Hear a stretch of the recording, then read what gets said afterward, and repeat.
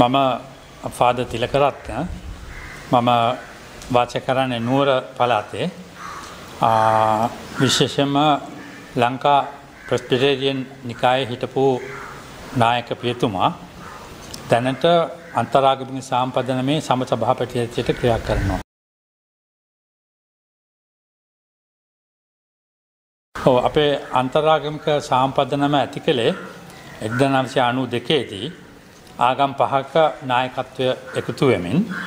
ඉතිං ඒ විශේෂ හේතු වනේ ශ්‍රී ලංකාවේ කැන ආණ්ඩුවට අයිතය එකැන හමුදාවල් සහ එල්ටීටිය ඇතුළු අනිකුත් විමුක්තුයි සටන්කාරයින් සමඟ ඇතිවුණාව ගැටුම් වලදී ඒ ජාතින් දෙක අතර සාමය සමගේ සමාධානය ඇති කිරීම සඳහා යම් යම් වැඩ පිළිවල අපි කරා.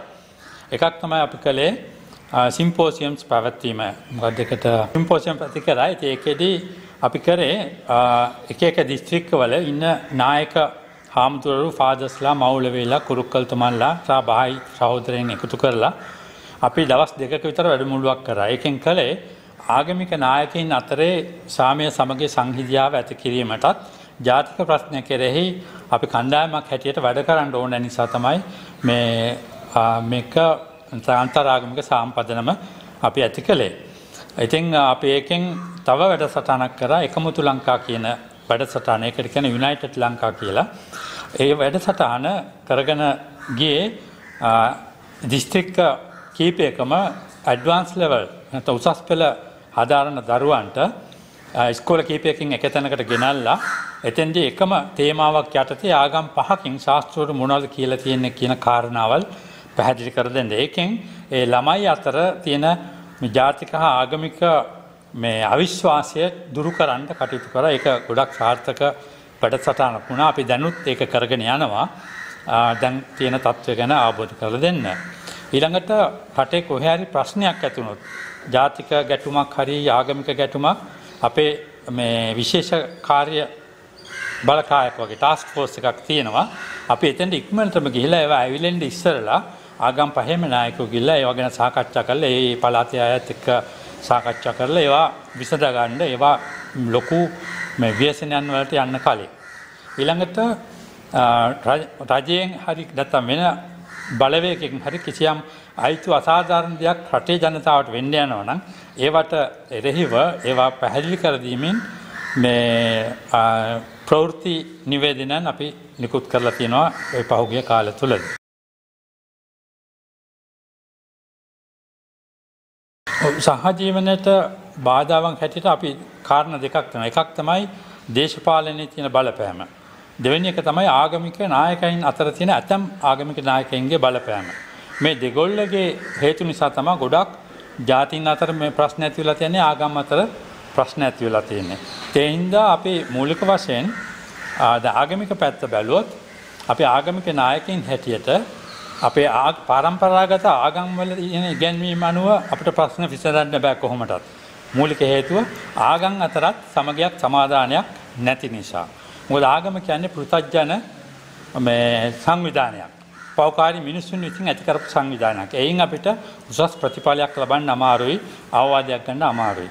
ඉතින් විශේෂයෙන්ම දේශපාලන නායකයින් සහ ආගමික නායකයින් තම තමන්ගේ ධර්මයන් දෙස බැලුවොත් ධර්මය අනුව ජීවත්වනොත් ධර්මය ඉගන් උගන්නල තියෙන දේවල් ක්‍රියාත්මක කොළොත් එතන සහජීවන ඇති කිරීම හැකියාවක් කියලා මොකද අපි ඔක්කොටම එකඟ වෙන්ටෙනවා අපේ එකිනෙක්කනාගේ තියෙන ධර්මයේ තියෙන ප්‍රතිපත්තිවලට.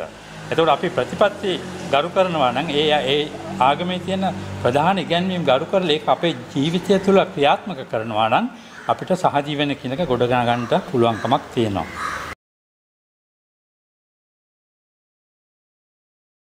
මංහිතන් ඒක හොඳ ප්‍රශ්නයක් මොකද මුස්ලිම් සහ ක්‍රස්තියානය අය ගැන ගත්තොත් අපේ පරණ ගියවසුමේ තියෙන කාරණ ගොඩක් කුරාණය තියෙනවා. ඉලට අලුත් ගියස්මේ තියෙන ගැන්වීමනුත් කුරාණය තියෙනවා. ඉලට මහමත්තුමා කැන ආවට පස්සේ හදිස් වලින් ධර්මය ඉදිරිපත් කරලා තියෙනවා. ඉතින් මුස්ලිම් ක්‍රස්තියානය අය අතර ගොඩක් හිට්ටු සහෝදරකමක් ඇතිකරගන්න පුළුවන්කමත් තින අපේ අර ඓතිහාසික බැඳීම් තුළ. විවිධ ප්‍රශ්න ඇතිවෙන්න පුළුවන් වෙත්ල තියෙන්න පුළුවන් කොයිද මේ ඉතිහාසය තුළ නොමුත් හැකියාවක් තින අපිට එකතු වෙලා විශේෂ මේ රටේ ඇතිවෙන ප්‍රශ්නවලදී යම් එක හඬක් නගණ්ඩ පුළුවන්කමක් තියෙනවා.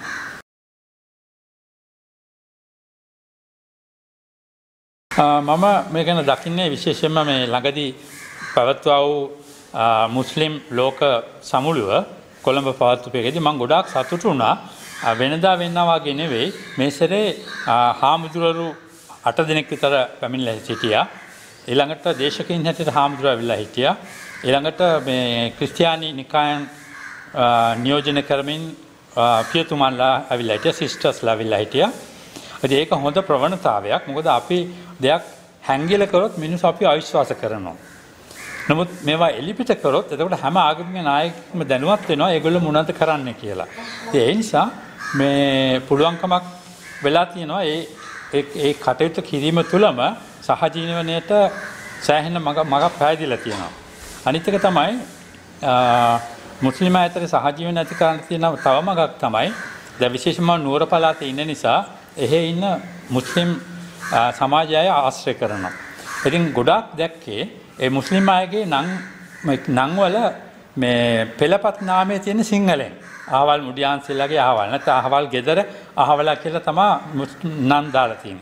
ඉතින් අපිට එතනින් ගමිය වෙන්න මොකක්ද මේ අතීතයේ මිනිස්සු කොච්චර කිට්ටුවෙන් හිටියද කියන එක. ඉතින් අරාබියෙන් ආවේ පිරිමෑ විතරයි. ඒගොල්ලෝ මේ ලංකාවේ කාන්තාවන් බැඳ නිසා භාගයක් අරාබි භාගයක් සිංහල. භාගයක් අරාබි භාගයක් දෙමළ. අන්න ඒ වගේ තැනක් තියෙනවා. හැබැයි මේ කාරණේ අපේ මවුලවිල්ලතුමන්ලත් අපේ හාමුදුරුවරුත් ඒ ජනතාවට කියලා දීලා පෙන්වන්න ඕන අපි වෙනම ජාතරණය අපි ශ්‍රී ලාංකිකයින් මේ ආකාරයෙන් කියන එක පෙන්වුවා නම් ගොඩාක් වැදගත් වෙනවා ඒ කාරණාවට. අනිත් එක තමයි ඇතම් අන්තවාදී කොටස් ඉන්නවා. පොඩි උදාහරණයක් ගත්තොත් ලංකාවයි පාකිස්තානයේ ක්‍රිකට් ගහන වෙලාවේ ඇතම් කණ්ඩායම ඉන්නවා මේ පාකිස්තානයට ලංකාවේ ඉන්න අය චිය කරන නැත්නම් අප්පුඩි ගාලා කෑ ගහනවා. ඒගොල්ලෝ ලංකාවේ ටීම් එකට ඒ වගේ දෙයක් කරන්න. ඉතින් ඒකෙන් මහජනතාව අතර ලොකු සැකයක් බයක් ඇති වෙලා තියෙනවා මෙතන මේ අරාබිකරණයක් වෙනවද කියලා. ආ ඊළඟට සදාම් හුසේන්ගේ යුද්ධ යන කාලේ කොළඹ බැස්ස කට්ටිය සදාම් සදාම් කියලා කෑ ගන්න. ඒක ඇත්තටම අපිට අදාළ දෙයක් නෙවෙයි. නමුත් ඒ දේ සිදුවන නිසා වැඩිපුර කියන්නේ මහා ජාතිය අතරේ සැකයක් බයක් නිර්මාණය අපි ඒක නැති කරන්න ඕන. නෑ එතන මඟ මුලින් කිව්වා වගේ අර ටාස්ක් ෆෝස් එකක් තියෙනවා අපේ. ඒ ගැටුමක් ඇති වෙච්ච තැන අපි උදාහරණ LTT ප්‍රශ්නේ තියෙන කාලේ අපේ අන්තරාගම සාම්පදනෙම ගිහිල්ලා තමිල් චේර්මන්ලා ඊළඟට දයා මාස්ටර්ලාම හම්බෙලා ඒගොල්ලෝගේ අදහස් අරගෙන රජයේ අයටත් ගෙනල්ලා අපි සමගි කිරීමේ මෙහෙක යෙදමින් හිටියා.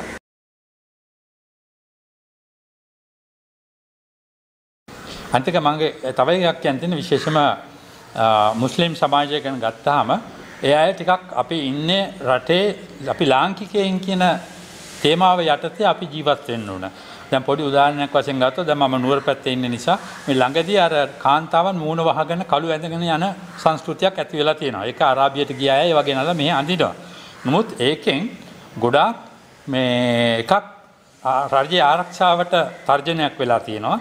දෙක මේ ඒක නිසා මේ සිංහල අය අතරේ මේ ලොකු අවිශ්වාසයක් ගොඩනැගිලා තියෙනවා. මොකද ඒක තුලින් ගිහිලා වෙන වෙන මේ නරක දේවල් කරන්න ඉඩ තියෙන. හැබැයි මිනිමරුම් කරලා තියෙනවා. ඒ නිසා ඒවා මකාගෙන වැඩ කටයුතු කළොත් හොඳයි කියලා තමයි මගේ යෝජනාව. මූලික වශයෙන් අපි දැනගත්තොත් ඒ කියන්නේ අපිව බෙදලා තියෙන්නේ අපේ අනාගමික නායකයින්. පොඩි කාලේ ඉඳලා අපිව ප්‍රෝග්‍රෑම් කරලා තිරත් අපේ මොළ සෝදනය කරනවා පොඩි කාලේ ඉඳලම එක සීමාවක් යටතේ තමගේ ආගම තුළ පමණක් කටයුතු කරන්න. අපිට අනිත්‍යය ගැන බලට අනිත්‍යය ගැන ආශ්‍රය කරන්නට ඉඩ දීල නෑ. ඇති ඒ නිසා අපි වෙන් කරලා තියෙන අපේ ආගමක නායකින් තුළින්. ඇති ඒක ඒකෙන් අපි නිදහස් වන්න ආගම නැමති වේගයෙන් නිදහස් වල ධර්මය දෙස බැලුවත් අපිට මනුෂ්‍යත්වය ගරු කරලා කටයුතු කිරීම හැකියාවක් තියෙනවා.